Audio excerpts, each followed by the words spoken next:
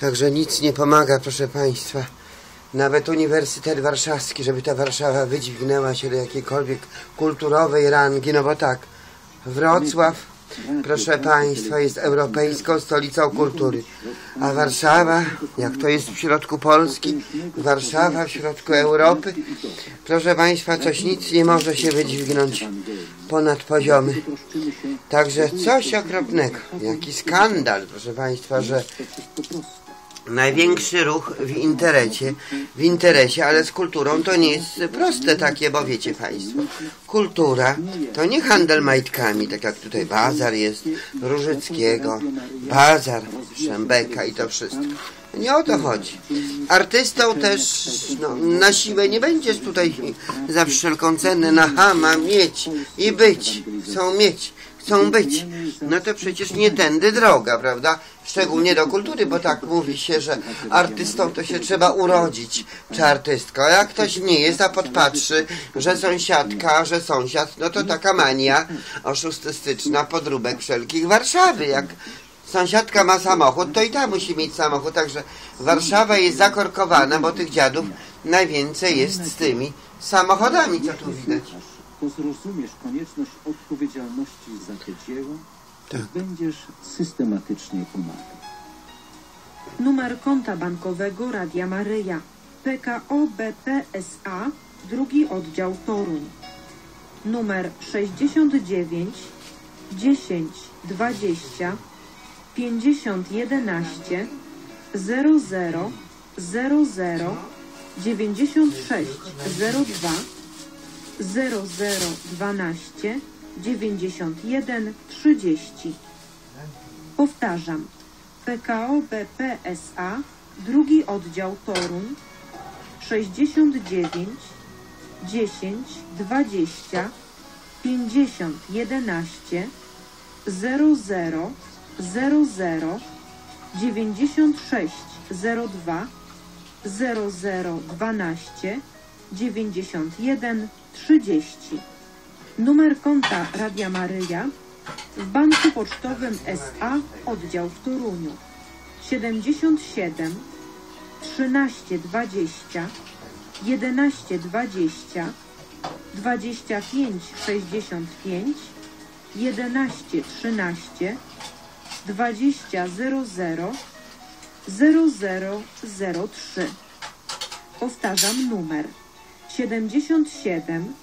20 00 0003 Powtarzam numer 77 13 20 11 20 25 65 11 13 20 00 0003 Jest 14.30.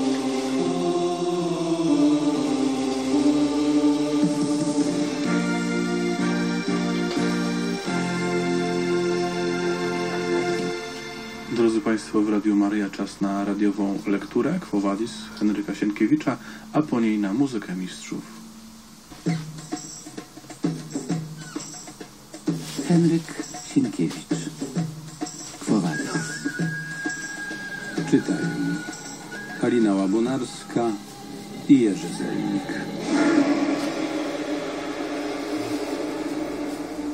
I wszystko zawiodło. Winicjusz zniżył się do tego stopnia, że szukał poparcia u wyzwoleńców i niewolników tak Cezara, jak i Popei. Przypłacał ich czcze obietnice, zjednywał sobie bogatymi podarkami ich względy. Odnalazł pierwszego męża Augusty, Rufiusa Kryspinusa i uzyskał od niego list. Podarował willę w Ancjum synowi jej z pierwszego małżeństwa, Rufusowi. Lecz rozgniewał tym tylko Cezara, który pasierba nienawidził. Przez umyślnego gońca pisał do drugiego męża Popei, Ochona, do Hiszpanii. Ofiarował całe swe mienie i siebie samego, aż wreszcie spostrzegł, że był tylko igraszką ludzi. I że gdyby był udawał, iż więzienie Ligi mało go obchodzi, byłby ją prędzej uwolnił. Toż samo spostrzegł i Petroniusz. Tymczasem płynął dzień za dniem, Amfiteatry były skończone. Rozdawano już te sery, to jest znaki wejścia na ludus matutinus. Lecz tym razem igrzysko poranne z powodu niesłychanej ilości ofiar miało się rozciągnąć na dnie, tygodnie i miesiące. Nie wiedziano już, gdzie mieścić chrześcijan. Więzienia były natłoczone i srożyła się w nich gorączka. Pitukuli, to jest wspólne doły, w których chowano niewolników, poczęły się przepełniać.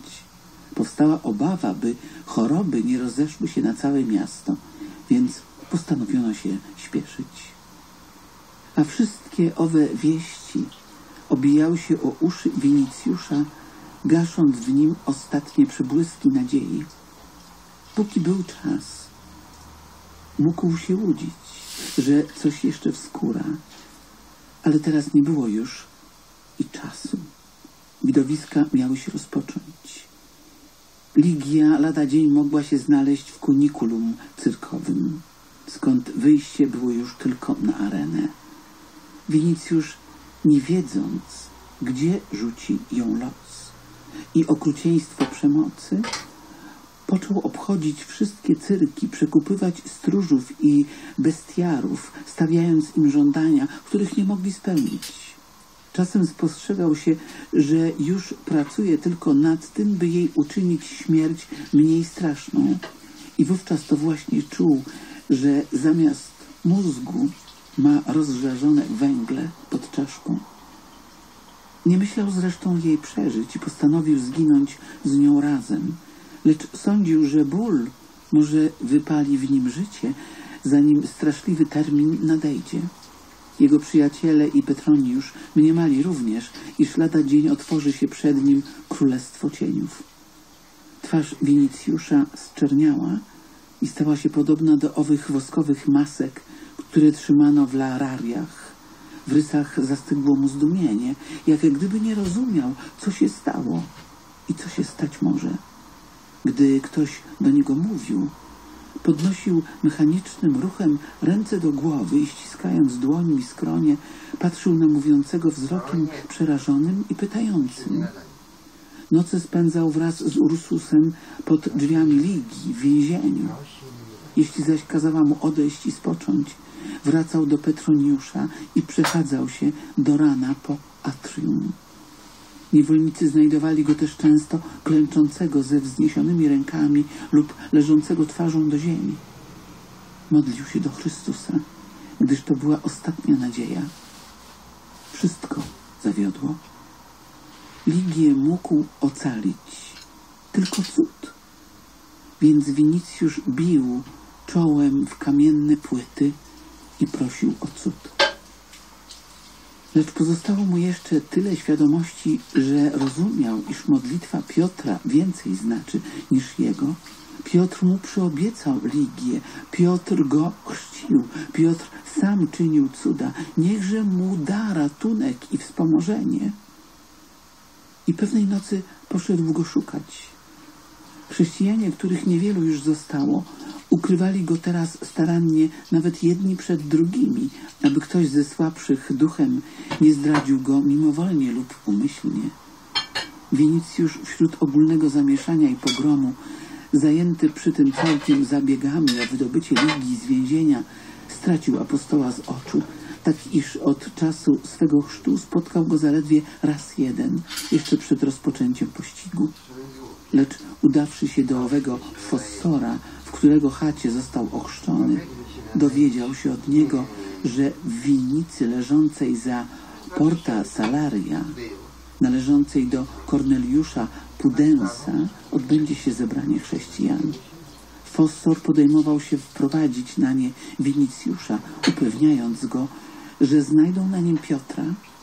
Jakoż z mroku wyszli i przedostawszy się za mury, a następnie idąc wśród wądołów zarosłych trzciną, dostali się do winnicy położonej dziko i ustronnie. Zgromadzenie odbywało się w szopie, w której zwykle wytłaczano wino.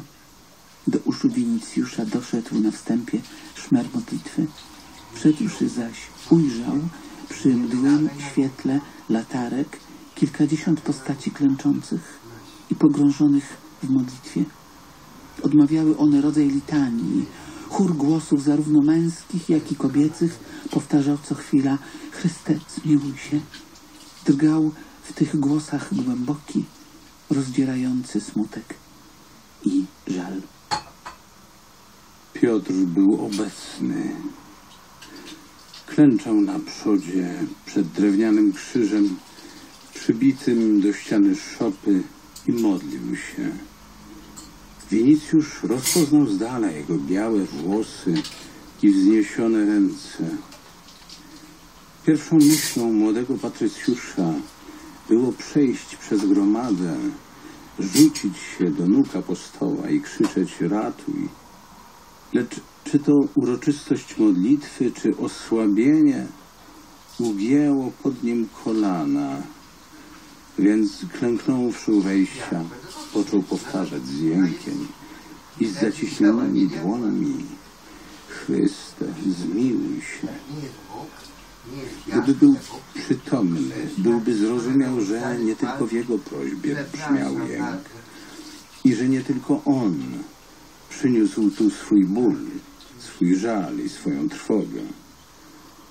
Nie było w tym zebraniu jednej duszy ludzkiej, która by nie straciła drogich sercu istot.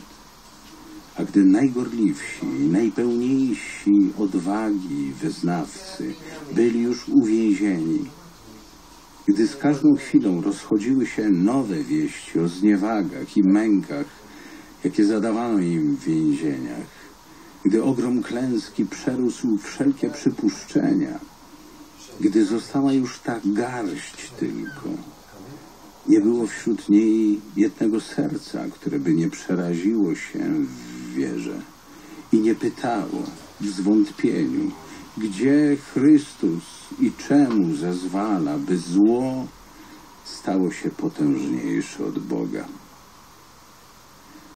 Lecz tymczasem błagali go jeszcze z rozpaczą o miłosierdzie, bo w każdej duszy tliła się Proszę dotąd Państwa, szatan diabeł jest bardzo inteligentny i nie bez powodu Biblia nazywa go Bogiem tego świata. Oczywiście małą literą tam jest Teos, ale nie Hoteos, bez przedimka określonego, czyli jakiś Bóg w sensie pośrednik, bo rzeczywiście on był aniołem doskonałym w niebie, ale zapragnął panować władzy dla siebie. Adama i Ewę mm, podporządkował sobie pierwszych ludzi i potem przez niedoskonałość y, cały świat. Także proszę Państwa, o czym my tu będziemy opowiadać? Ludzie tak zaszli, jak to, że diabeł ich nakusił, tak zaszli, że nawet Jahwe, tetragram Boży, JHWH, wyrzucili z Pisma Świętego, wyrzucili z Biblii. Bóg nie istnieje, no bo jeżeli Jahwe nie ma... Potem tak, z kobiety bóstwo, bóstwo, kult kobiety i dzieciątka, to przecież jest pogańskie przeszło. No ale gdzie ten Jahwe? My jesteśmy do bólu konsekwentni. Gdzie jest ten Jahwe, do którego kazał się modlić Jezus Chrystus, mówiąc, a wy tak się módlcie, Ojcze nasz, któryś jest w niebie, święć się imię Twoje, bądź wola Twoja. No i teraz, że tą wolą Bożą jest uczynienie ziemi znowuż takim rajem, jaki był na samym początku, bo przecież i Jezus Chrystus po to przyszedł, żeby Bóg mógł przywrócić na tej podstawie, czy my się zgodzimy na to, czy my zechcemy żyć w raju. I te wszelkie procedury są standardy są uwzględnione i jeszcze są uwzględniane, bo już praktycznie za bardzo to się nie głosi tej Ewangelii. Jeszcze tylko z Anglo, Ameryki, Białystok święci, świadkowie przyjeżdżają, tu troszeczkę poczekają, pogłoszą, postoją, popatrzą. Macie jeszcze szansę.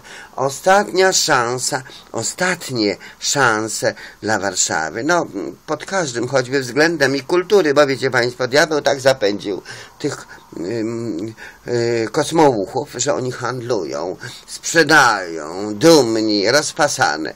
Gdy lochy robią fochy, no to warszawskie lochy robią fochy, no to więc ja mówię, zobacz Litka, co ty zauważyłaś, jak nie byłaś roku w Warszawie, bo ona z Wielkopolski, mieszka pod lasem, zresztą się wyprowadziła z Warszawy. Co zauważyłaś? No, że gdy warszawskie, że warszawskie lochy robią fochy. I tak w kopyta w kieszeniach dumne, butne. Nie patrz się nawet, bo jak się na ciebie zapatrzy taki dziad, no to ci jeszcze krzywdę zrobi, bo zaatakuje i co ty w tym momencie zrobisz? Będziesz wzywała policję, jak on ciebie już zaatakował? No, także to są te salcesony takie, wiecie państwo, i białe, i salcesony czarne, tak samo jak mamy Pragę północ, powiedzmy, że salcesony czarne i Pragę południe, tu salcesony białe. Także proszę być tylko z nami u nas w radiu, to FM Eurokącita Barbie Baby Langstrom Extra najciekawiej.